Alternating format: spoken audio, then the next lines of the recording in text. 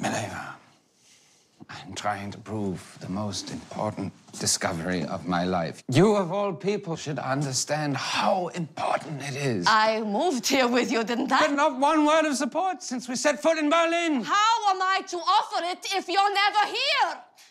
Can't you see how miserable I am? You're miserable everywhere. If you want to know the truth, I'm looking forward to this trip as I do any reprieve from your dark moods.